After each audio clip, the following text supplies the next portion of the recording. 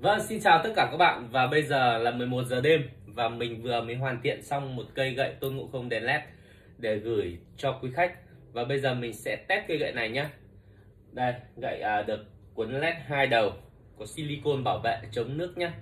Các bạn có thể đi mưa thoải mái, ok. Rồi. Đấy, có công tắc on off và có sạc pin. Đấy, có nút chuyển chế độ nháy ở trên thân gậy. Bây giờ mình sẽ test thử cho các bạn xem. Mình sẽ tắt điện đi nhé. Rồi.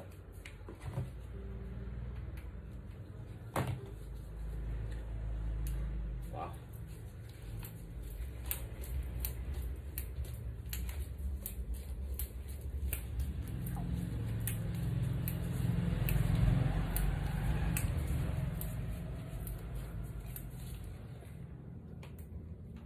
sẽ đổi màu này các bạn này chưa đổi chế độ nháy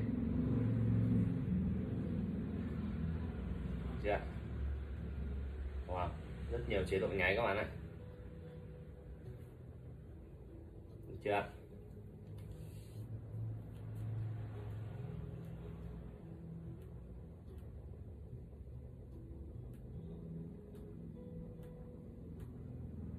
Đúng rồi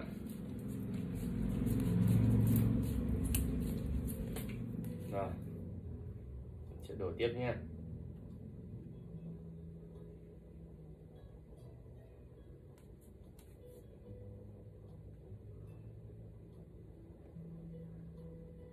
đúng không ạ?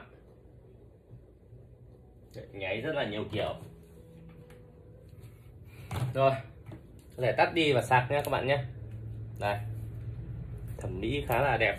Đây ok, anh em có nhu cầu thì hãy à, liên hệ với shop ngộ không hà nội 0968 646 698 xin chào anh em nhé.